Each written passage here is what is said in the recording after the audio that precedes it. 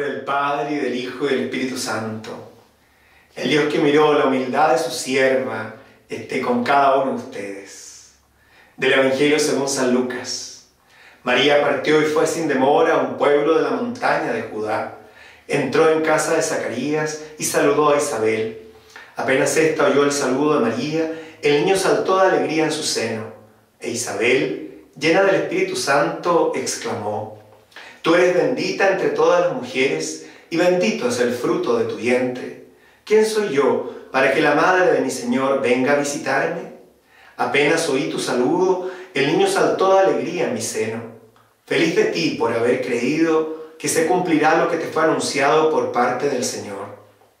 María dijo entonces, mi alma canta la grandeza del Señor, y mi espíritu se estremece de gozo en Dios mi Salvador, porque miró con bondad la pequeñez de su servidora. En adelante, todas las naciones me llamarán feliz, porque el Todopoderoso ha hecho en mí grandes cosas. Su nombre es santo, su misericordia se extiende de generación en generación sobre aquellos que lo temen. Desplegó la fuerza de su brazo, dispersó a los soberbios de corazón, derribó a los poderosos de sus tronos y elevó a los humildes. Colmó de bienes a los hambrientos y despidió a los ricos con las manos vacías Socorrió a Israel su servidor, acordándose de su misericordia, como lo había prometido a nuestros padres, en favor de Abraham y su descendencia para siempre. María permaneció con Isabel unos tres meses y luego regresó a su casa. En este día de fiesta nos unimos a las palabras de Isabel para reconocer en la Santísima Virgen María aquella que es bendita entre todas las criaturas, porque es bendita, porque al decir sí, aceptó que en su vientre se concibiera al propio Hijo de Dios, y por eso también es bendita por el fruto de su vientre, Jesús. Quisiéramos alabar y bendecir la generosidad y la confianza de la humilde sierva, que también nosotros nos estremezcamos de gozo en Dios, nuestro Salvador, al reconocer a los pequeños. ¿Quién más pequeña que María, al que Dios exalta y lleva en cuerpo y alma al término de su vida terrena al reino de los cielos? No conoció la corrupción de un sepulcro, aquella que había prestado su vientre al propio Hijo de Dios.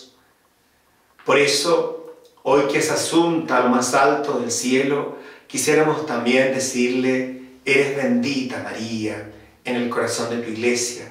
Es bendito el fruto de tu vientre, que también en nuestro interior ha sido concebido por medio de la fe y va creciendo en el tiempo de la iglesia.